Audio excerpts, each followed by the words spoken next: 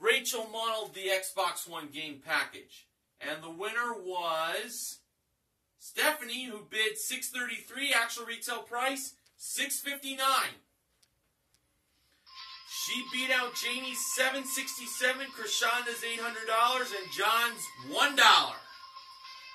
Now, Stephanie actually uh, uh, currently attended uh, three previous tapings. One from 1983, one from 1985. Of course, those two years had Bob Barker.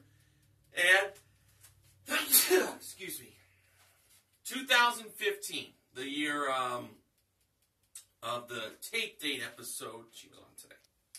Well, let's see if the third time was the charm for Stephanie. Stephanie had a chance to win designer shoes and a new refrigerator. First was a Burberry shoe collection with suede high heels, leopard print pumps, and two pairs of leather stilettos modeled by Rachel. Second was a Samsung French door refrigerator that is Energy Star compliant and has LED lighting and is a two-door design modeled by Gwendolyn. Stephanie was playing one right price. Both Rachel and Gwendolyn held the one right price of $2,525. Stephanie believed that price went to the refrigerator. I did not like that choice, to be honest. So when Gwendolyn took the price of $2,525 and placed it on the refrigerator, she revealed the actual retail price to be $3,299.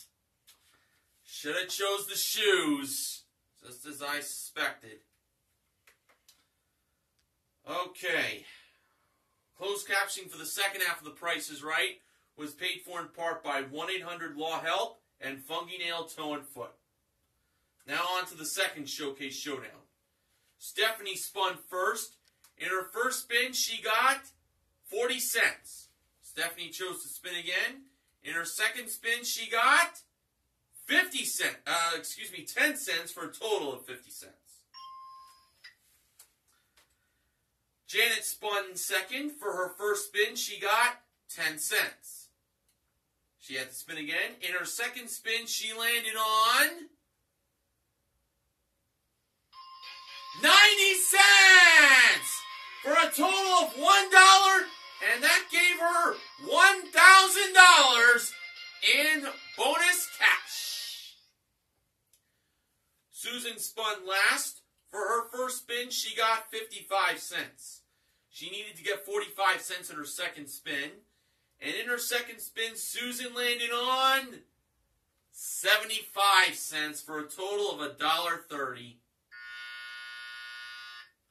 Susan went over. Now on to Janet's bonus spin. In her bonus spin, Janet landed on 85 cents. She didn't win any more money, but she was headed to the showcase. All right, today's top winner in the showcase was Valerie. Janet was the runner up.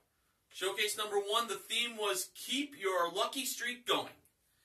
It included a BBO poker table with four chairs, a trip to Las Vegas that included a $250 food and beverage credit and $200 spa credit, and a Costa Costa Mediterranean cruise round trip coach from Los Angeles to Rome, Italy for eight nights.